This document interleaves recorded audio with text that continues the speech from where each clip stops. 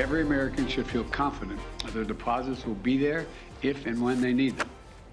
Right now on KCAL News at 5 on CBS Los Angeles and streaming live, President Biden taking steps to assure Americans their money is safe after two bank collapses.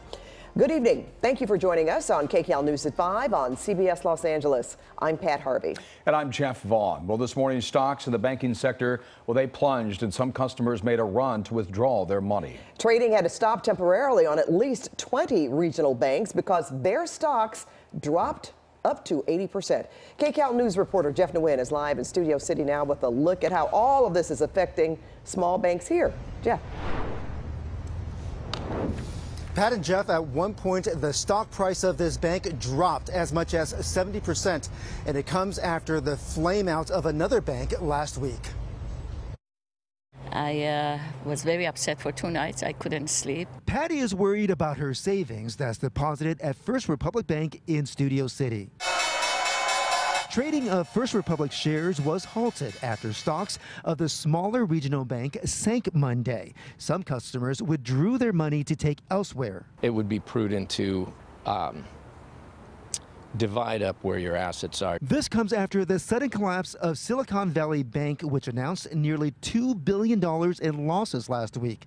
Economist Dr. Christopher Thornberg says the bank got into trouble when the Federal Reserve raised interest rates, which drove down the value of Treasury bonds that the bank was heavily invested in you have to sell your securities. But if I sell them, I sell them at a loss. Around the country, customers have lined up at a number of banks because of their concerns. The Biden administration has taken steps to make sure individual and business accounts with Silicon Valley and signature banks will have access to their money. Americans can rest assured that our banking system is safe. The president also said taxpayers will not be paying for a bank bailout. The money will come from the fees that banks pay into the deposit insurance fund. Dr. Thornberg says what's happening now has to do with inflation. He says it's not the same as the Great Recession when banks like Washington Mutual had a problem with their loan base. The overall banking system has never been cleaner.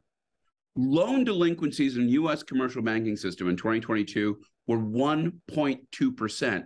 They have never been lower. Even though deposits are federally insured, customers have mixed feelings. I know it's insured for 250,000. It's I'm not nervous. I can't lose it all. I, I live by that.